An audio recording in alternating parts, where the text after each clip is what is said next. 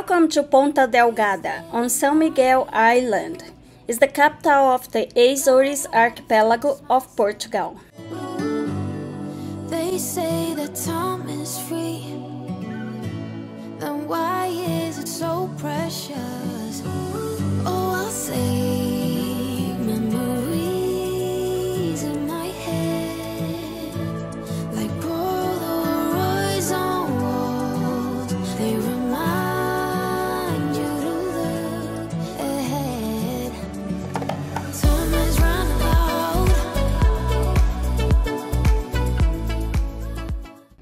Here we are at our last port, Ponta Delgada, Azores. I'm doing a voiceover because the wind was so bad it was hard to understand me. The winds appear consistently 15 to 25 miles an hour or so. Behind me are several cruise ships that are docked, including ours. There is a fairly good chance of rain today as well. We decided not to go on any excursions and instead we're just going to walk in town and check things out here. The people here are supposed to be very friendly. There's Ely, and we're about to go there, and behind her is basically the main area of the town that we're going to look at. The bus from the cruise ship dropped us off here at this Fort de São Brás, which is now a museum. Roasted cashews. The Azores was first populated over 500 years ago, around 1439, by Portuguese, Spanish, Jews, Moors, Italians, and Africans. money on cures. Forgot how to fix myself. They say that time is Getting ready for Christmas. Here's the Christmas tree that I'm sure is really pretty lit up at night. And here's the main part of downtown. I saw photos of this before our trip. We're going to go into the main, probably the souvenir and shopping area for tourists.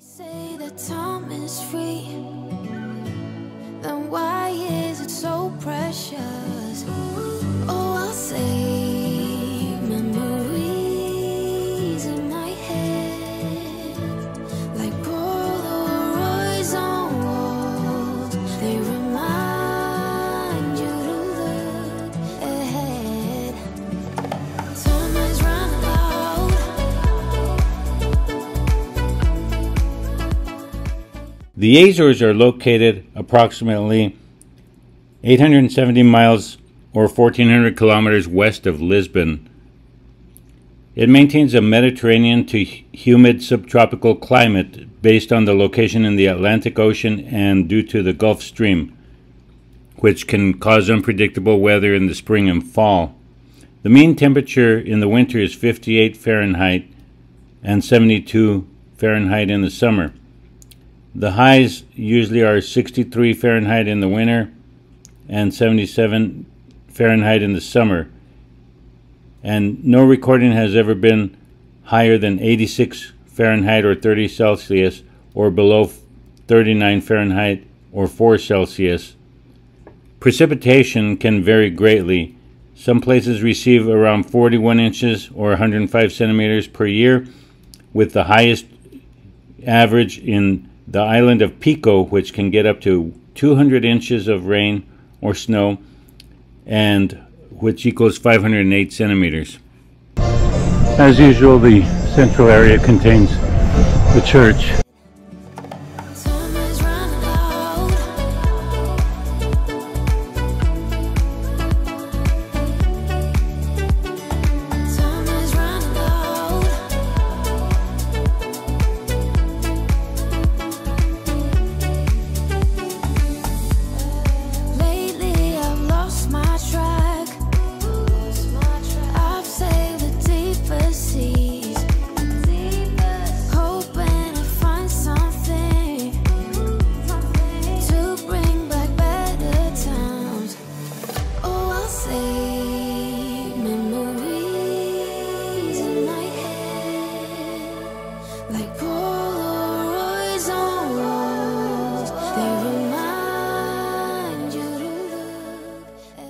The Azores is teeming with sea life, vegetation, and hundreds of species of birds.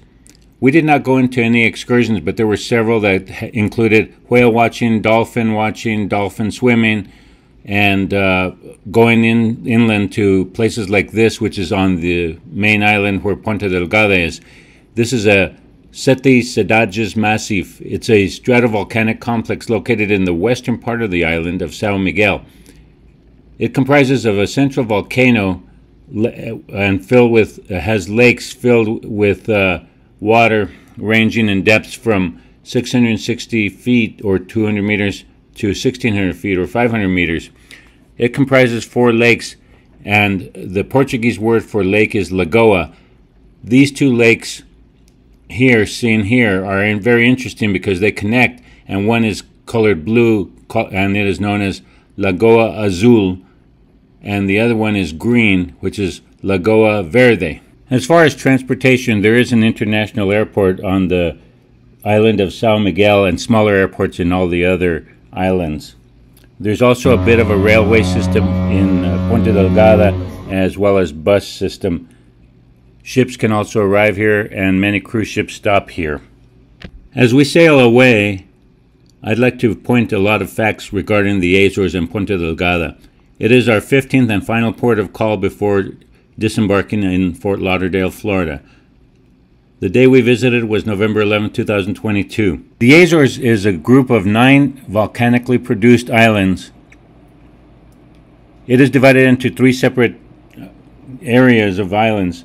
The eastern group is Sao Miguel, which is where Ponta Delgada is located, Santa Maria, and Formigas, which is the Portuguese name for ants.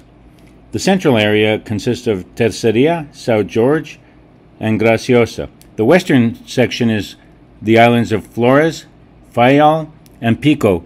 Pico has the highest mountain in all of Portugal, which is over 2,000 meters or over 7,000 feet.